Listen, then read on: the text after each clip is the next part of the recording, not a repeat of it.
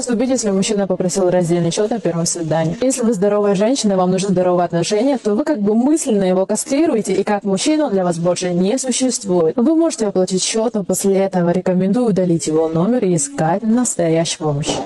Привет! Если вы слышите фразу от женщины «настоящий мужчина» и дальше там «должен» или еще что-то, прям бегите от нее. Не имейте ничего общего с этой женщиной, потому что фраза «настоящий мужчина» — это манипуляция в чистом виде. Если вам пытаются навязать какие-то стандарты, переделать вас, а, манипулируют тем, что вот какие-то мужчины так делают, а ты не делаешь, значит ты плохой, это бред.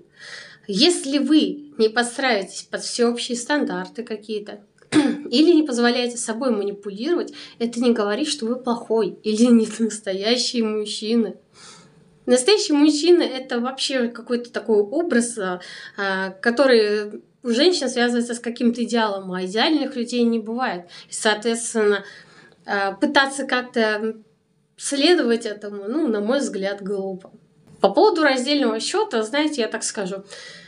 Если вы не хотите платить за женщину, особенно если это первое свидание, не платите. Потому что действительно оно того не стоит. Нормальная женщина нормально реагирует на разделение счета и не парится по этому поводу. Так что не слушайте все это.